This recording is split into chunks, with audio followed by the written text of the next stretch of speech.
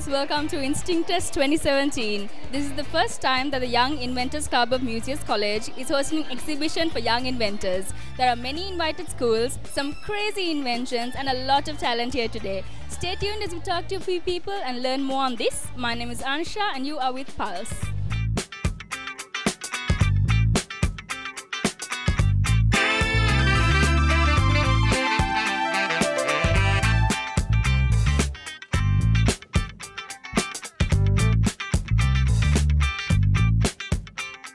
Right now we are with Shamakka Jayasekara, the president of the Young Inventors Club at Musaeus College. Hi, how are you today?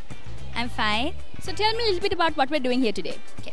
So I first of all I would like to welcome you all to Instinctus 2017, the first ever Young Invent Inter-School Young Inventors exhibition and competition organized by the Young Inventors Club of Musaeus College.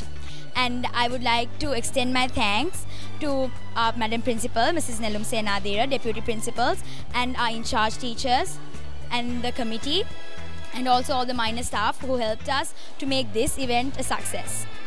And uh, today we have more, more than 150 exhibits.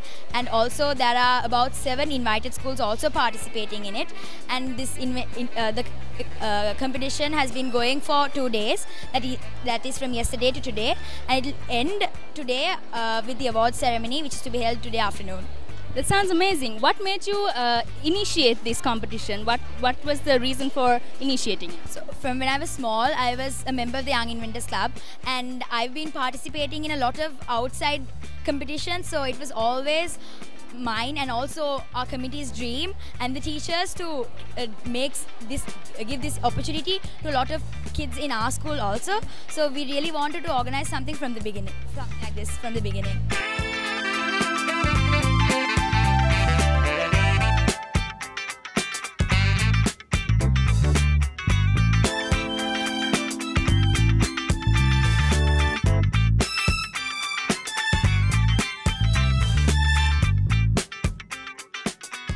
now we're with Tivinya who is displaying her work at the exhibition today. Hi, how are you? Hi Aki, I'm fine. So tell me a little bit about what you're displaying today. This is my invention hybrid gas cooker. While we are cooking something, we can boil some extra water in here like you see the same heat energy. And the other one on that side? Uh, this is a revolving solar panel. In here like uh, this solar panel revolves with the sun. So it's really useful for our country. That sounds amazing. How did you come up with the ideas for these inventions? Um, uh, my mom used to drive, uh, you know, this umbola cutter, like uh, keeping it in this thing, uh, like in the gas cooker. So from the radiation, the heat spreads out in every direction. So like that, I came up with the idea. Sounds amazing. Was this all your work, or did you have help from anyone else? Um, I got help from my cousin Aya. That sounds amazing. How do you feel about displaying your work at a competition like this for the first time? Uh, little bit nervous, but it's a good experience. It's great. I wish you all the very best, and it's amazing here today. Thank you.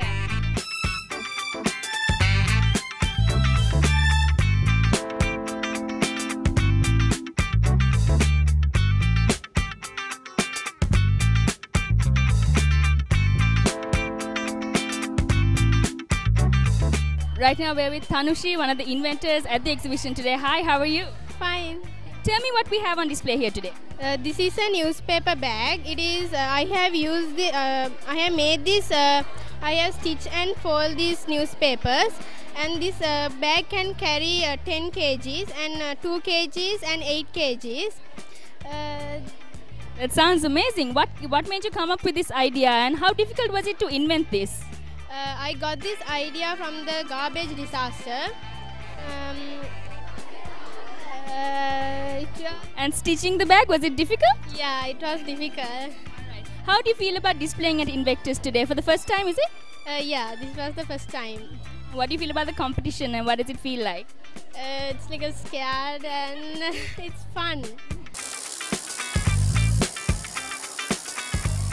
Right now we're with Shannon from Wesley College, which is one of the invited schools here today. Hi, how are you? Going good. Uh, Tell me a little bit about your invention. So this is a self-balancing car.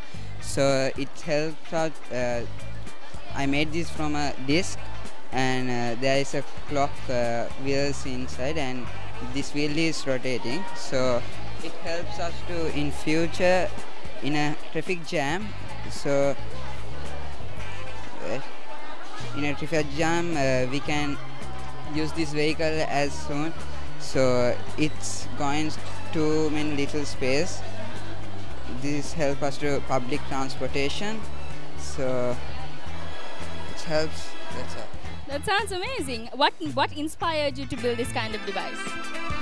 Um,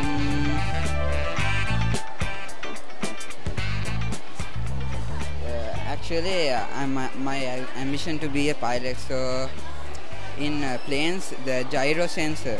So this is the concept is gyroscope. The gyroscope is uh, very valuable for the planes. So from there only I use choose this uh, concept here. Sounds amazing. Was it difficult building the device? Yeah, sort of is. All right. How do you feel about displaying here at the exhibition today? uh, it's very amazing to have it's such a experience to have this uh, this is my second time first time i came first place in our school uh, exhibition uh, last year that was junior one so this is my first one in senior category so it's a good experience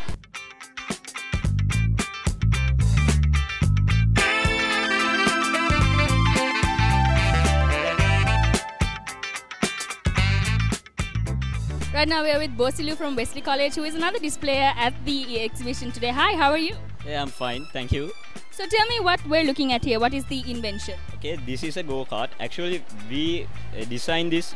Actually, we uh, we modified the go kart. We first we took a plan of go kart, then we modified it to this car. Actually, uh, it was kind of difficult, but we enjoyed while uh, modifying it. Actually, Right now we're with Kavinu from Royal College. Hi, how old are you?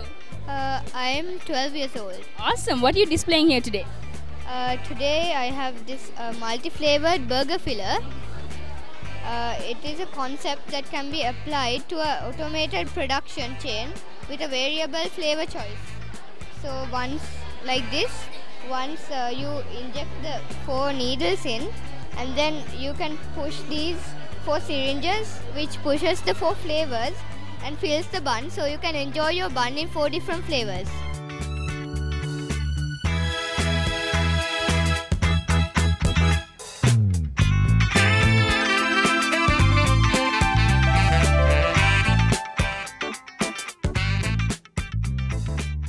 Right now we are with a group of museums from the senior category. Hi girls, tell me your names. Uh, I'm Bisinvi. I'm Pavandi. And I'm Minuri. All right, tell me what we're displaying here today. Uh, this is a self-watering plant. Um, uh, yeah, we can. It's used for like home, uh, home used. Like a, thing, those small plants we use to decorate our houses so like this is a growing pot we don't need to like actually water it every day so no, you can water it once a week. So uh, if we forget to water once a week, it can um, stay the stay with like for three days without watering. Even if you forget watering, it can last for three days. And So what happens here is that uh, uh, So in this lower compartment we have water uh, and through these clothes uh, the water travels up to the upper compartment. This effect is called the capillary effect. Uh, and uh, in the upper compartment we don't have this is not soil. We are using coir here. Uh, the specialty in coir is that it can retain water more than soil. So uh, it retains the water and when the roots are dry uh, through osmosis uh, it gives the, the necessary water to the roots of the plant